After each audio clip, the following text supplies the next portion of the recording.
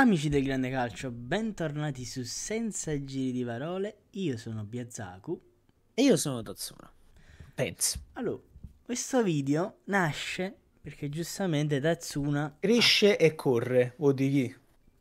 Questo video nasce perché giustamente Tatsuna ha fatto, mi, ha, mi ha fatto notare una cosa e quindi secondo me si potrebbe approfondire l'argomento. L'argomento ovviamente riguarda il Napoli e soprattutto riguarda di Romelu Lukaku e del modo in cui viene utilizzato dal Napoli di Antonio Conte.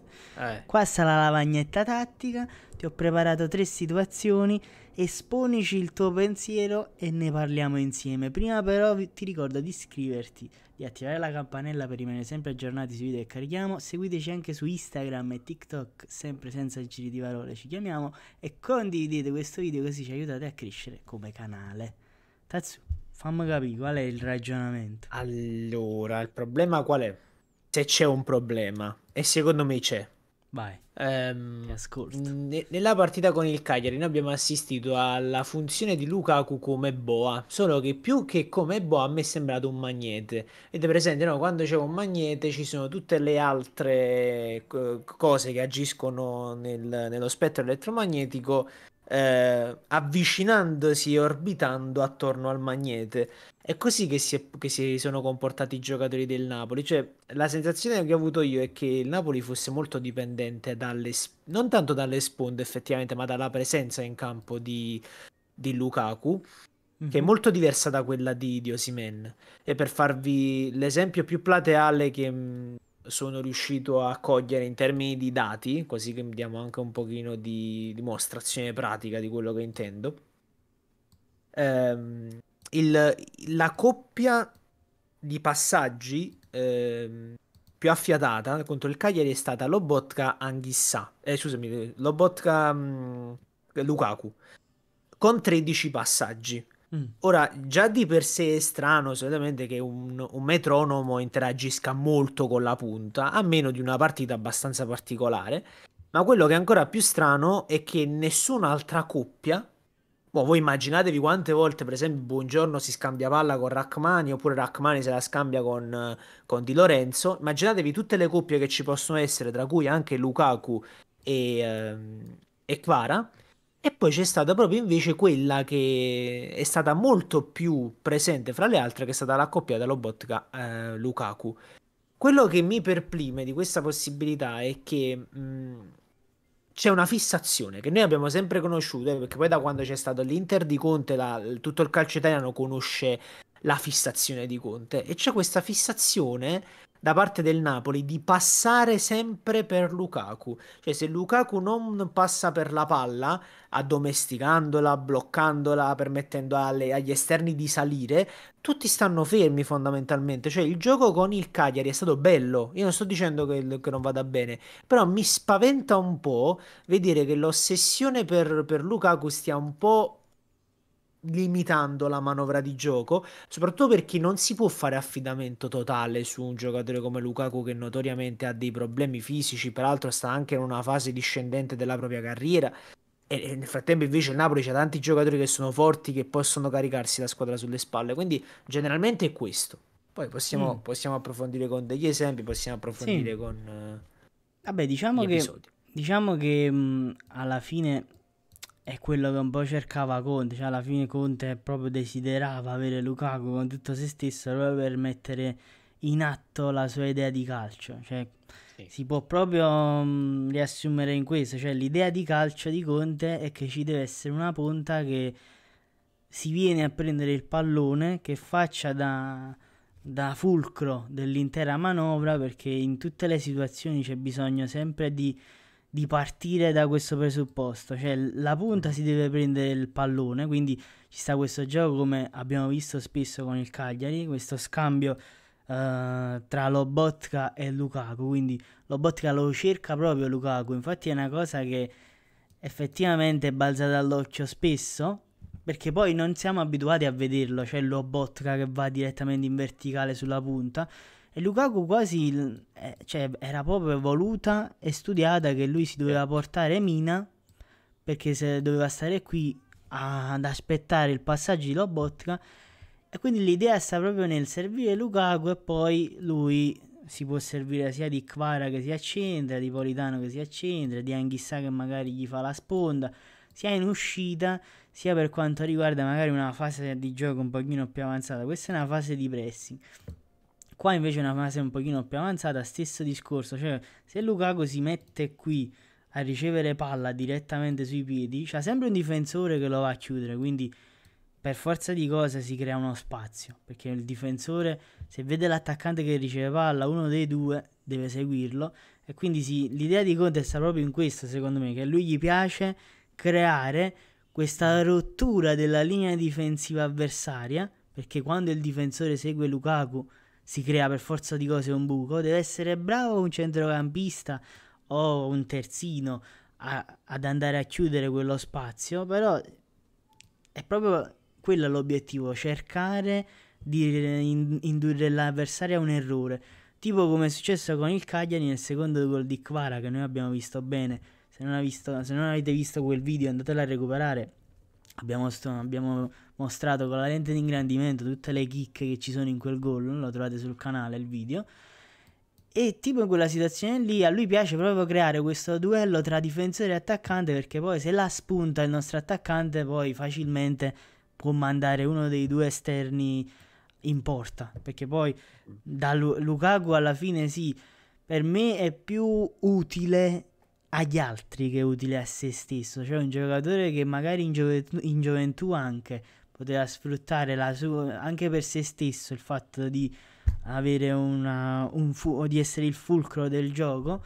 Adesso magari in un'età un pochino avanzata, anche perché poi lui è anche diventato più esperto rispetto a prima, e quindi le conoscenze si sono fatte più importanti, lui secondo me in questo momento è molto più utile agli altri che a se stesso, quindi secondo me tutto la, il gioco di, An- di Antonio Conte si concentrerà su questa cosa. Per me la problematica non è proprio Lukaku, è proprio il, l'abituare una squadra a giocare in questo modo sempre. Sì. E se poi sì. manca Lukaku, di fa qualcos'altro. Esatto. Quindi la problematica secondo me non è tanto quando c'è Lukaku in campo, che magari in campo anche Lukaku può diventare prevedibile, perché poi alla fine è Lukaku proprio che ci rende imprevedibili, perché lui una volta che riceve palla può sfruttare tutti i giocatori. Veramente qua eh, diventa proprio una cosa molto imprevedibile secondo me. Quindi non è tanto quando c'è Lukaku in campo, è quando poi non ci sarà in quelle partite Lukaku con Raspadori o Simeone dovrai improvvisamente giocare in un modo diverso e magari lì potresti addirittura andare a perderci dei punti. Tra parentesi, noi lo sappiamo bene perché l'abbiamo visto con Osimen.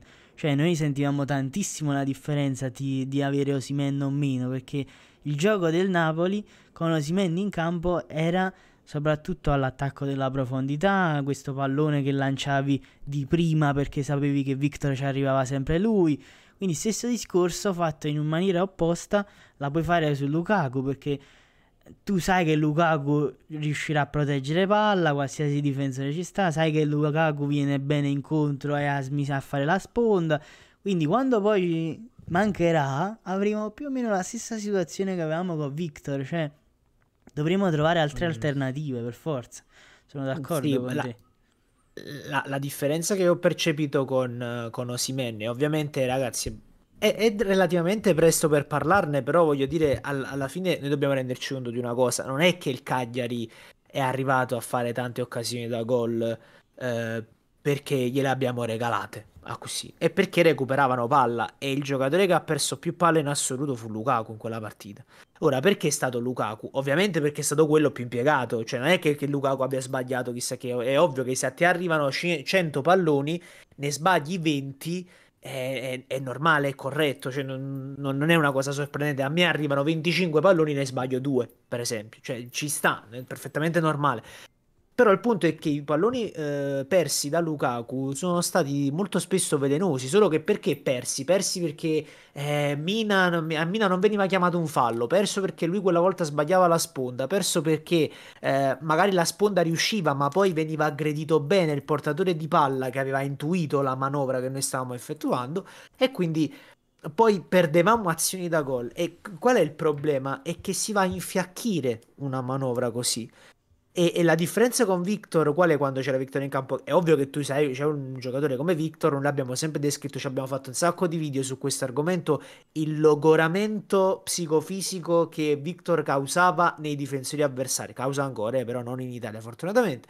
Ehm, e quindi noi lo sfruttavamo, però non è che la manovra doveva passare per Victor, cioè la, l'esistenza anche senza palla di Osimen determinava che noi potevamo sfruttare eh, il logoramento che lui, sub- che lui, esercitava sugli avversari. Ora il problema con Lukaku è che io ho visto proprio i giocatori, magari perché non erano esattamente in fase, anche se dubito, limitarsi, veramente limitarsi, perché si doveva gravitare attorno a Lukaku nell'attesa che lui compisse una giocata. E a me mh, non è che preoccupa che non possa funzionare, perché è ovvio che funziona alla lunga.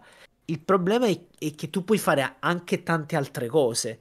E quindi vedere il metronomo in campo che insiste ossessivamente verso Lukaku quando magari ha l'apertura verso Quara o anche l'apertura verso Politano o la stessa cosa fa Politano che in realtà vabbè con questa usata l'ha fatta a tal proposito, è, è, è quello che mi, sì. mi, preoccupa un po' di più. Perché è, è vero che c'è una semplificazione, eh, perché attenzione, que- questa è una cosa assolutamente da ribadire. Il fatto che Lukaku ti faccia saltare molti passaggi è un vantaggio. Cioè, perché se tu passi la palla ad un giocatore che fa da boa e e poi praticamente da solo ti porta, in por- ti porta alla-, alla, porta avversaria, scusate il gioco di parole, perché ehm, gli avversari gravitano attorno a lui perché sta fuggendo da Boa. È ovvio che tu hai saltato pot- potenzialmente molti passaggi per arrivare in zona gol, però questa semplificazione, se tu la devi ricercare, non deve essere ossessiva. Sì. E a me è sembrato eh, che fosse ossessiva. Più che altro l'ossessione molto spesso viene anche un pochino enfatizzata, cioè alla fine se la base del tuo pensiero di calcio è quella, è, ehm, è quasi ovvio che lo vai a, ricercare sempre. Cioè io non vedo più, cioè io non vedo Lukaku come le ossessioni del Napoli, è proprio il punto di partenza di ogni azione. Cioè un po' come lo era Lobotka oppure come era Kvara lo scorso anno. Cioè, in questa, in questa situazione dobbiamo semplicemente guardare il tutto da un'altra prospettiva, secondo me. Cioè, mentre Osimen l'anno scorso era la nostra freccia, e quindi gli altri erano l'arco che dovevano lanciare la freccia, in questo caso Lukaku funge da arco e le frecce sono gli altri. Quindi, se io devo parlare in modo, cioè devo ragionare in modo collettivo, secondo me a un giocatore come Kvara serve più un Lukaku che un Osimen. Ma pure uh-huh. Politano forse ha più bisogno di un Lukaku che un Osimen.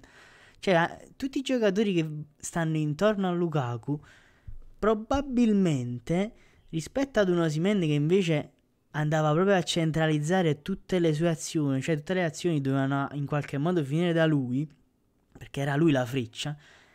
Le frecce mo quest'anno, quest'anno potrebbero essere altre, quindi magari l'imprevedibilità sta proprio là. Cioè, magari uh, è prevedibile che il pallone arriverà a Lukaku, ma è imprevedibile dove la darà Lukaku.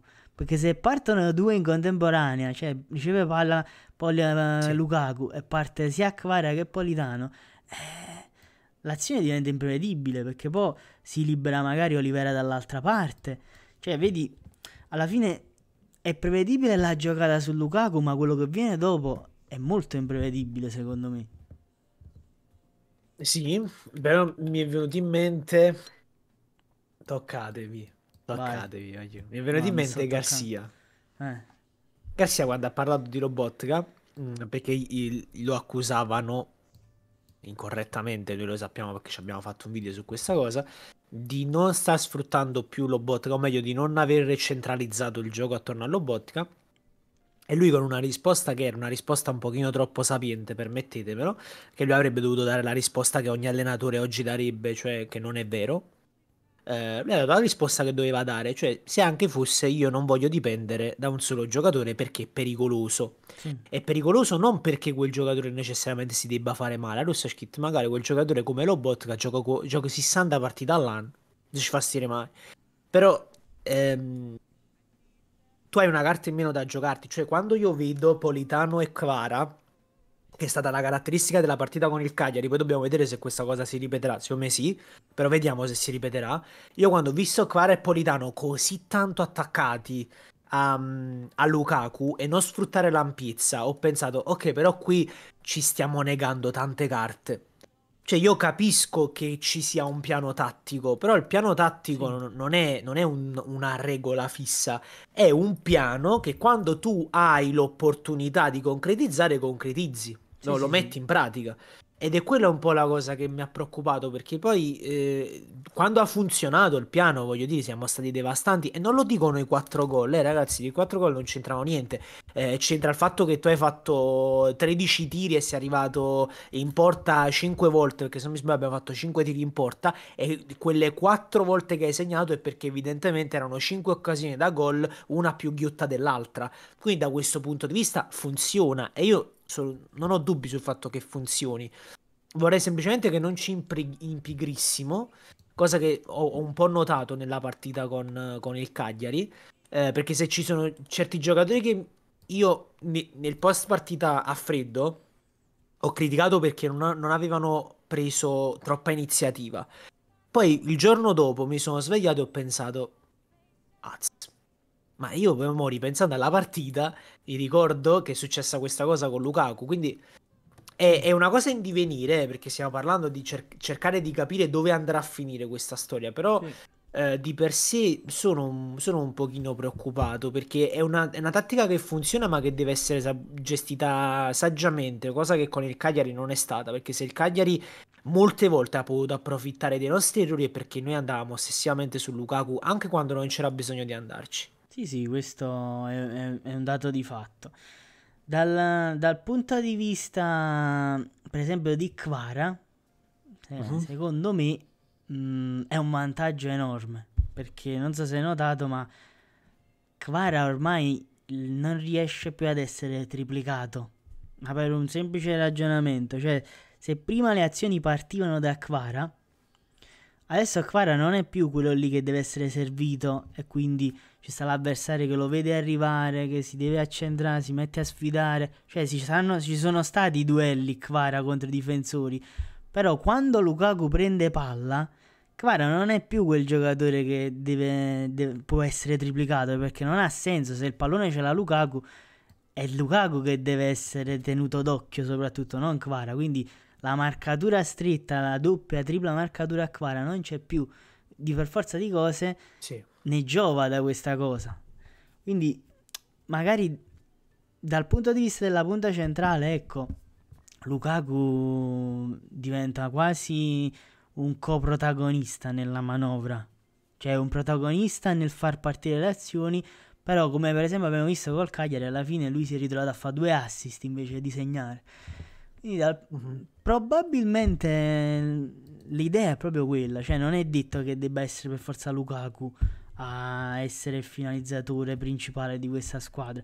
Sinceramente a me quest'idea piace parecchio perché uh-huh. sono convinto che per esempio soprattutto a Kvara la problematica principale era questa che lui era, aveva il compito di far partire le azioni e quindi l'avversario sapeva perfettamente che doveva andare, dovevano andare tutti quanti dal suo lato per fermarlo. Se Kvara invece improvvisamente prende palla perché due secondi prima ce l'aveva Lukaku e stavano addosso a Lukaku, Kvarac ha decisamente più spazio di manovra e non hanno il tempo di andarlo a, a raddoppiare e triplicare mm-hmm. subito.